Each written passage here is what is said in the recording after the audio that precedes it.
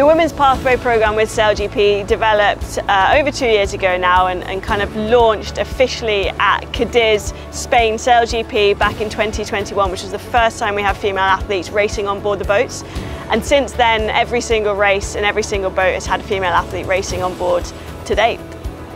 So over the last two years of the Women's Pathway programme, our Emirates GBR SailGP team have done loads of work actually to get more female athletes opportunities sailing these types of boats. So since the Women's Pathway programme got launched, officially and, and, females were racing on the boats in, in 2021. I think we've had four or five different female athletes come through and, and race at different events on the boat and, and, be part of the team and learn from the team and,